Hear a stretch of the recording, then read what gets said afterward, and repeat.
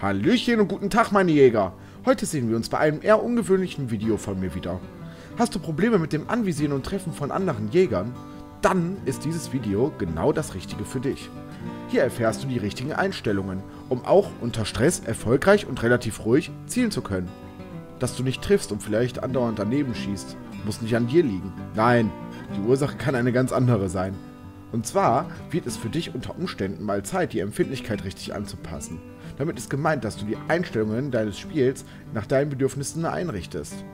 Mit meinen Einstellungen, die ich an dich weitergebe, wirst du höchstwahrscheinlich im Gefecht gegen andere Jäger als Sieger hervorgehen. Ich würde sagen, dass wir dann mal zum Eingemachten gehen. Du gehst auf das Zahnrad, also auf die Einstellungen in Hand und dir werden die Empfindlichkeiten auch direkt angezeigt. Die Einstellungen, die ich dir jetzt mit auf den Weg gebe, dienen lediglich zur Orientierung und sollen dir eine Möglichkeit aufzeigen, wie solide Einstellungen aussehen können. Dies hier sind meine Einstellungen. Und wenn du das Video pausierst, kannst du diese, wenn du magst, ganz leicht für dich übernehmen. Langsamere Sensis eignen sich hervorragend für Hand. Beim Ziehen ist es unheimlich wichtig, ruhig und geduldig zu bleiben, damit du dein Ziel nicht verfehlst. Wenn du möchtest, kann ich auch noch ein Video raushauen zum allgemeinen Movement im Spiel. Wenn du dir dies wünschst, schreib es doch einfach in die Kommentare. Ich freue mich über jede Art von Interaktion deinerseits und auch wenn du mir ein Dislike da lässt oder ein Like, das ist mir eigentlich völlig egal und dient für mich lediglich als Feedback.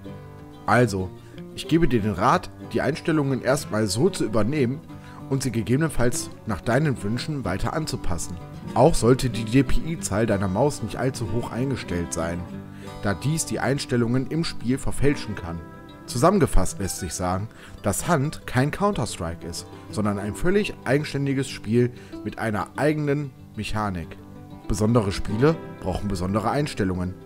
Und deswegen gibt es dieses Video, was dir hoffentlich weitergeholfen hat. Die ganzen Tipps und Tricks gebe ich auch gerne an unsere Anfänger weiter, die sich bereits in unserem Discord-Channel befinden.